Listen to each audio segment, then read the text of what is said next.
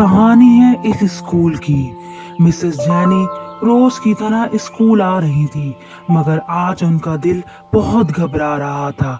उन्होंने आकर अपने साथियों से भी इस बात का ज़िक्र किया कि आज मुझे स्कूल आते हुए बड़ा अजीब सा लग रहा था। उनके साथियों ने कहा, ऐसा कुछ नहीं है। स्कूल रोज़मर्रा की तरह चल रहा था। क्लासेस का आगाज़ हो गया था। बच्चे भी अपनी सरगर्मियों में मशगूल थे। टीचर्स क्लासेस में आके अपने यूनिट्स ले रही थी। मगर मिसेस जैनी अजीब सी फ़िक्र में मुब्तला थी। उनको इससे पहले कभी ऐसा महसूस नहीं हुआ था और आज वो बड़ा अजीब सा महसूस कर रही थी, जैसे कुछ बुरा होने वाला है।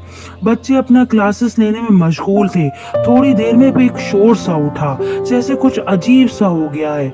जब बच्चों ने ग्राउंड की तरफ़ देखा तो ग्राउंड में पानी आना शुरू हो गया।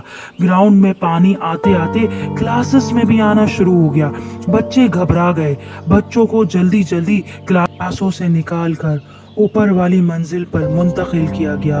बच्चे बहुत घबरा रहे थे, क्योंकि स्कूल का नीचे वाला हिस्सा आहिस्ता आहिस्ता पानी में डूबता चला जा रहा था और देखते ही देखते पानी बढ़ता चला जा रहा था। बच्चों के माँ बाप भी बहुत परेशान हुए। फिर कुछ रेस्क्यू टीम आई। उन्होंने बच्चों को स्कूल से निकालना शुरू किया और पानी इतना ज़्यादा स्कूल में आ गया था कि बच्चे बहुत घबरा रहे थे। कुछ बच्चे तो कश्ती में बैठने से भी डर रहे थे। पर उनके टीचर बच्चों को हौसला दे रहे थे।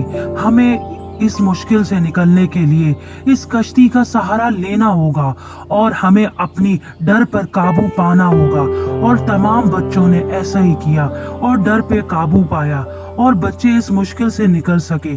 फिर रेस्क्यू की टीम के लोग वहाँ से चले गए और उन लोगों ने काफ़ी लोगों की मदद की। वहाँ के इर्द गिर्द जो बने हुए थे, वहाँ के लोगों को भी निकाला गया। क्योंकि पानी इस इलाके में बहुत बढ़ गया था। ये इलाका बहुत खौफनाक मंजर पेश कर रहा था। कुछ दिनों बाद पानी कम होना शुरू हुआ।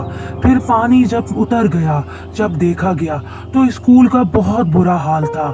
सैलाब की तबाहकारियों से स्कूल तकरीबन तबाह हो चुका था। और बच्चे अपना स्कूल देखकर बहुत उदास थे। वही स्कूल है जो इतना खूबसूरत था, इसका क्या हाल हो गया? लेकिन कुछ दिनों बाद स्कूल की तामीरात का काम शुरू हुआ और स्कूल दोबारा से वैसा ही बन गया जैसे पहले था और बच्चे अपना स्कूल देखकर बहुत खुश हुए कि हमारा स्कूल दोबारा से आबाद हुआ और बच्चों ने बड़े हादसे से हिम्मत नहीं आ रही थी, बल्कि उनके हौसले बुलंद हो गए। लाइक करें शेयर करें सब्सक्राइब करें बेल आइकन को दबा दीकर ताकि मेरी हर आने वाली वीडियो की नोटिफिकेशन आपको मिलती रहे।